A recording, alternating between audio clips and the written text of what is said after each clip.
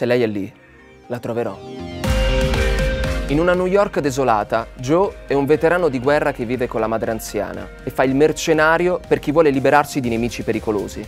Il suo ultimo incarico è quello di sottrarre Nina, la figlia di un politico locale, a un giro di prostituzione minorile. Se la storia non è particolarmente originale, è il modo in cui Lynn Ramsey la racconta a fare la differenza. Con una attenzione spasmodica al dettaglio, la regista si butta nella narrazione visiva, entrando dentro la materia delle cose e permeando la psicologia disturbata dei suoi personaggi. Le sue immagini sono di una potenza inedita e devastante. La violenza, tanto fisica quanto mentale, è resa digeribile dalla profonda empatia della regista per i personaggi. Altrettanto potente l'interpretazione di Phoenix, quasi muta, ma perfettamente eloquente.